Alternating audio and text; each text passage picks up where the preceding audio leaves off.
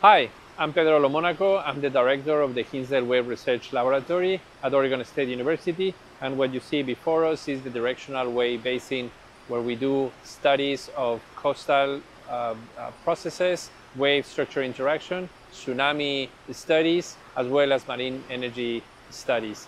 Um, in this particular case, what you see there are relatively small waves with a certain angle that is for a study on how the swash zone is producing erosion at the coast. This project is part of a National Science Foundation program called NHERI, Natural Hazards Engineering Research Infrastructure, where we offer uh, share use um, access to other universities in the nation.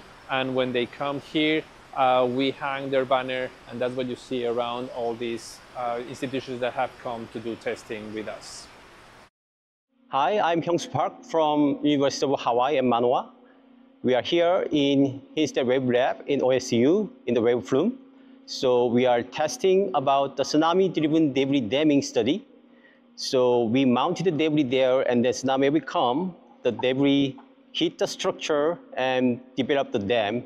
And then we measure that, the damming loading on this column structure. So we are going to test many different type of wave and different shape of debris.